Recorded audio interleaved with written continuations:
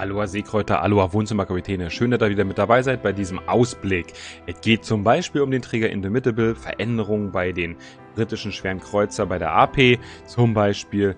Und es geht um legendäre Module und meine Gedanken dazu.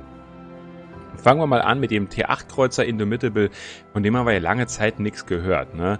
Äh, jetzt gibt's mal wieder eine Nachricht dazu und äh, es wird etwas verändert. Und zwar die Übergangsgeschwindigkeit zwischen höchster Motorboostgeschwindigkeit, also das, was man, äh, die höchste Geschwindigkeit quasi, die man erreicht, ja, und dann der Wechsel wieder zu normaler Reisegeschwindigkeit. Ne? Ähm, das hat in der Vergangenheit kürzer gedauert und wird jetzt halt verlängert, bis diese Geschwindigkeit eben von der Höchstgeschwindigkeit wieder auf die Reisegeschwindigkeit sinkt. Ne? Das macht den Übergang weicher. Und äh, das ist nämlich auch das nächste, der nächste Punkt bei der Indomitable. In der Vergangenheit wurde halt während des Tests festgestellt, dass diese Zielvisiere der Bomber vor allem sehr stark gesprungen sind. Halt auch deswegen, weil die Geschwindigkeitsunterschiede so extrem waren.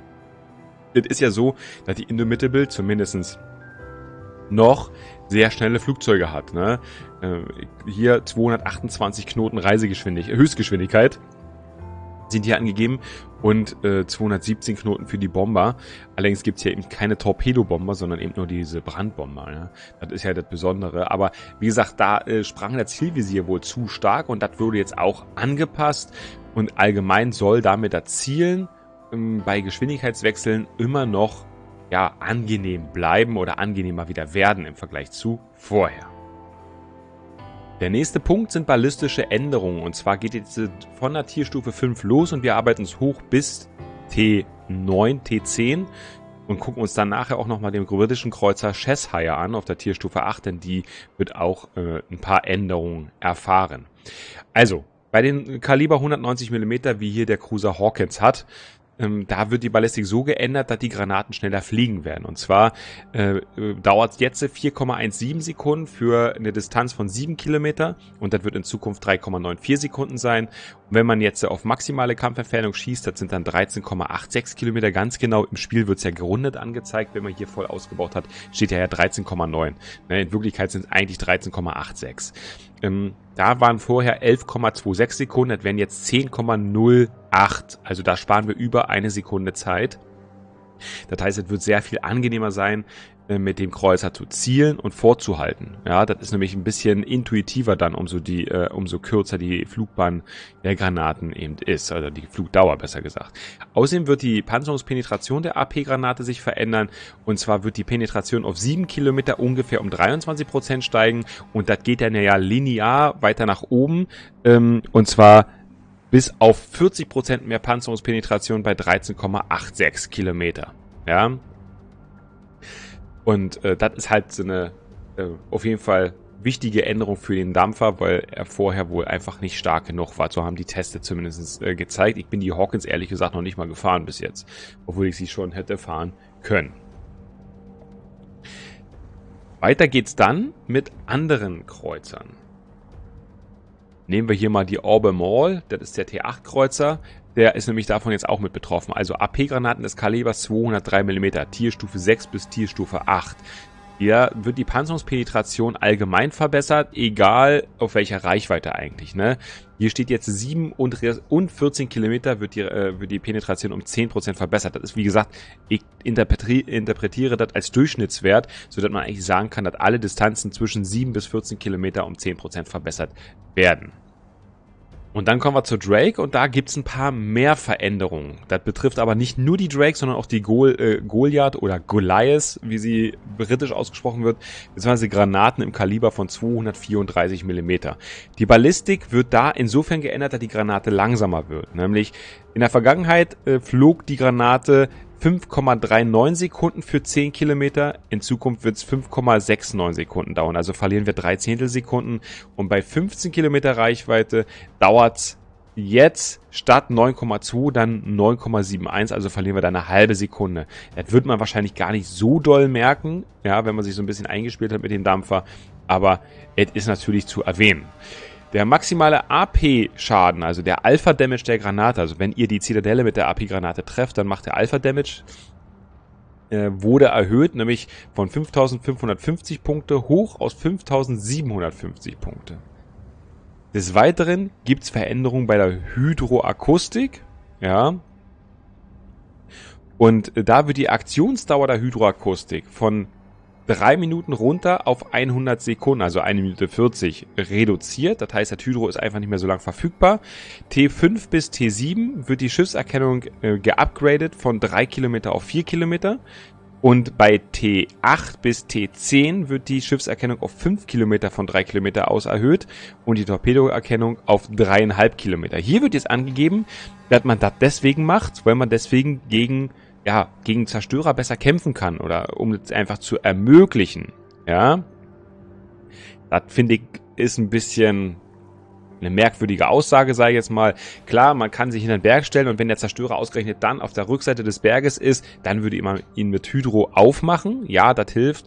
Aber wenn man direkt offen mit einem Schiff gegen den Zerstörer kämpft, man weiß, dass der da ist, man weiß noch nicht ganz genau wo, helfen dir die fünf Kilometer auch nicht, es sei denn der Zerstörerfahrer stellt sich nicht ganz clever an.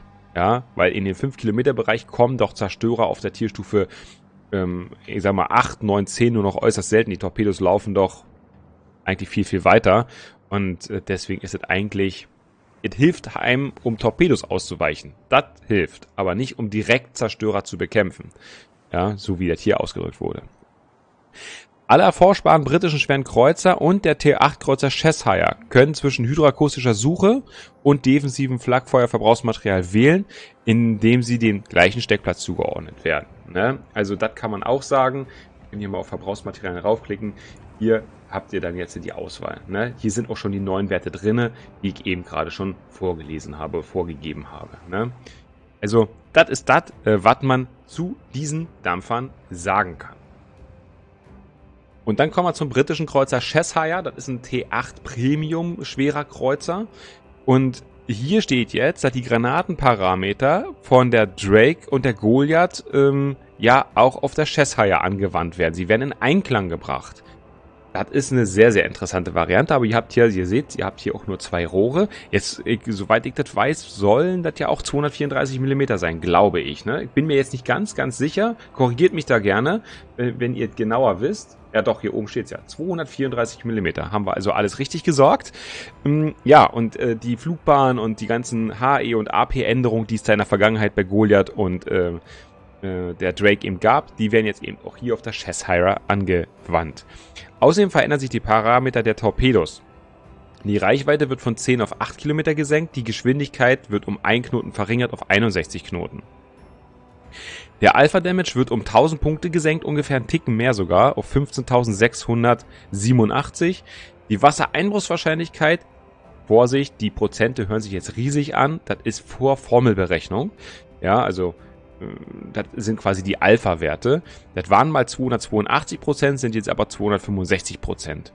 Und richtig interessant ist, der Cheshire bekommt eine verbesserte Reparaturmannschaft, zumindest was den Zitadellenschaden äh, betrifft, denn ihr könnt in Zukunft, also zumindest Work in Progress, bei der Reparaturmannschaft 50% des Zitadellenschadens wiederherstellen statt 10%, wie es vorher war. Nächster Punkt auf der Tagesordnung sind legendäre oder legendary, ich wollte es jetzt englisch deutsch aussprechen, legendäre Module oder Legendaries oder wie auch immer man sie äh, äh, denn nennen möchte. Und zwar hat World of Warships oder wird World of Warships die Möglichkeit verändern, diese zu bekommen. Ja, äh, Im Moment ist es ja so, dass wir Kampfaufträge haben, persönliche Aufgaben, die werden halt freigeschaltet in dem Moment, wo man das T10-Schiff bekommt. Und dann muss man hier jede Menge Arbeit leisten, um die dann freizuschalten und dann halt auch zu verwenden. Man kann auch vorher sehen, man bekommt auf dem Weg dahin ja auch schon ein paar Belohnungen und so weiter. Die spielen aber jetzt eher eine untergeordnete Rolle. Es geht ja am Ende darum, die Hauptbelohnung zu bekommen, nämlich die Module mit dem roten Strich. Und es wird eben so sein, dass mit der Veröffentlichung des Updates 092 äh, die legendären Module im Forschungsbüro der Waffenkammer erscheinen werden. Also, wir klicken da mal ganz schnell hin. Nämlich hier. Da sind wir dann quasi. Und hier wird's dann irgendwo, werden die dann irgendwo unten erscheinen. Bedeutet natürlich auch, in dem Forschungsbüro äh, ist dann hier, ähm, ja, müsst ihr Forschungspunkte anwenden, um die legendären Module eben zu bekommen. Das heißt, wenn ihr Legendaries haben wollt für euer T10-Schiff, ja, dann werdet ihr in Zukunft Bäume resetten müssen und da wieder durchgrinden müssen, um die Punkte zu bekommen. Damit wollen sie mehrere Fliegen mit einer Klappe schlagen. So ist zumindest meine Intention oder mein Verständnis dahinter. Zum einen wollen sie es attraktiver machen für euch, die, äh, das Forschungsbüro auch wirklich zu benutzen. Ja, mich persönlich, sage ganz offen und ehrlich, reißt das Forschungsbüro immer noch nicht vom Hocker und ich habe bis jetzt noch nicht einen Baum resettet auf dem Live-Server. Für mich ist es etwas Besonderes, wenn ich ein T10-Schiff habe äh, und ähm, ja, diesen Baum hochgefahren habe, wie jetzt erst vor kurzem mit der Moskwa. Da bin ich dann endlich angekommen. Da bin ich doch nicht bereit und sage, ach, cool, das hat mir so viel Spaß gemacht, jetzt setze ich das nochmal zurück. Also, so bin ich einfach nicht. Zumindest im Moment nicht. Vielleicht denke ich da zu kompliziert oder weiß ich nicht, aber äh, das ist halt meine Meinung. Und jetzt setzen sie hier die Legendaries rein. Ähm, ja, Gut, jetzt geht es euch vielleicht da draußen so ähnlich und ihr sagt, boah, Forschungspunkte mag ich jetzt gar nicht. Ja, dann äh, müsst ihr euch melden im Forum, dass ihr die Idee nicht so clever findet. Äh, andere werden sich sicherlich wieder sehr, sehr darüber freuen, vor allen Dingen, weil aus den Kampfaufträgen Übersicht, aus dieser persönlichen Herausforderung, endlich wieder ein bisschen mehr Übersicht drin ist. Ne? Da sind ja auch andere Aufträge drin, die fast untergehen, weil man so viele Aufträge für die, die legendären Module hat. Also man ordnet, so man sortiert es ein bisschen, man macht es ein bisschen ordentlicher wieder, die ganze Geschichte. Das ist schön. Ja, äh, wer eine will, muss andere mögen.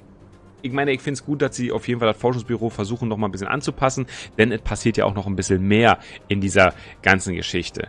Ja, äh, diese legendären Module werden überarbeitet äh, und es werden neue Module reingebracht. Das heißt also auch für Schiffe, die im Moment T10 sind, aber wofür es noch kein legendäres Modul gibt, wahrscheinlich. Prinzipiell ganz wichtig im Kopf zu behalten, bis Update 091 müsst ihr mit eurem legendären Modul, was ihr jetzt gerade farmt, fertig sein. Also ich sage jetzt einfach mal, um sicher zu sein, den 11. Februar. Hier steht jetzt 12. bis 13. Februar, aber ihr wisst ja, das eine ist amerikanischer Server, das andere ist europäischer. Wer weiß, ob sich das Datum mal ändert. Ich würde einfach für euch sagen, bald im Kopf, 11. Februar, versucht bis dahin mit dem Ding fertig zu sein. Ja? Ganz wichtig ist auch, wenn ihr jetzt angefangen habt und einen großen Fortschritt schon habt, dann werdet ihr ent äh, entschädigt. Ihr bekommt eine Compensa äh, Compensation dazu, also dafür. Umso weiter ihr fortgeschritten seid mit den Aufträgen, desto höher wird die Kompensation sein, die ihr dafür erhaltet. Das hat Wargaming schon äh, verlautbart. Und äh, ja, müssen wir mal schauen, ähm, wie dann nachher tatsächlich kommt. Das ist ja Work in Progress. Das heißt, da ist ja definitiv noch, äh, ja, die Möglichkeit, etwas zu verändern. Alle bereits erhaltenen Missionen ja, werden mit der Veröffentlichung des Updates 092 am 11. respektive 12. März 2020 ablaufen. Ja, das heißt, wahrscheinlich werdet ihr dann mit einem der nächsten Updates plötzlich ein Ablaufdatum unter diesen Missionen finden. Ähm, ja, Wargaming hat es ja in der Vergangenheit äh, nicht ganz klar kommuniziert. Also sie haben, sie haben gesagt, es gibt im Moment kein Ablaufdatum. Es war fast klar, dass dadurch, dass sie auch schon mal gesagt haben, dass sie da Veränderungen herbeiführen wollen, dass sich dann irgendwann mal was von dem Datum her ändern wird. Ähm, ja, jetzt ist es so, jetzt habt ihr es erfahren und ihr könnt euch darauf vorbereiten.